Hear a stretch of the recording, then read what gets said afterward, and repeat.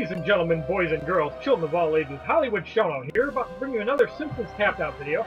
As you can recall, you did get the task to complete four different collectible items each day, Wednesday, Thursday, Friday, Saturday, and now for your Treehouse of Horror 24 trivia, please listen to the following clip.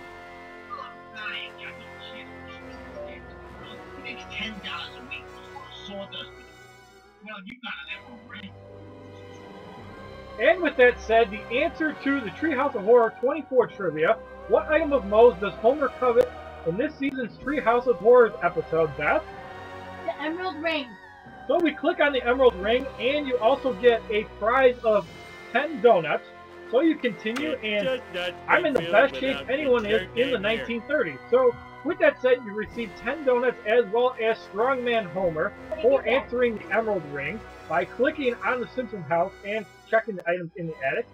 So with that costume, God, I love as you can see, it is a new costume for Homer. However, he is Mm-hmm. in the process of doing a quest, Got so I will not actually be able to get some information on that. And if you like this little video of Strongman Homer, as well as the Into the Treehouse of Horror 24 trivia being the Emerald Ring, please give this video a like rating, comment, subscribe, share this video amongst your friends, add as a favorite, check out my other Simpsons Tapped Out videos, my playlist, my Facebook and Twitter, which are Hollywood Shono.